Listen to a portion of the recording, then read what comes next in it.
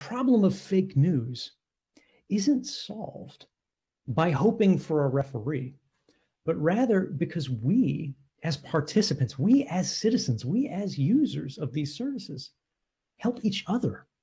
We talk and we share and we point out what is fake. We point out what is true. The answer to bad speech is not censorship. The answer to bad speech is more speech. We have to exercise and spread the idea that critical thinking matters now more than ever, given the fact that lies seem to be getting very popular.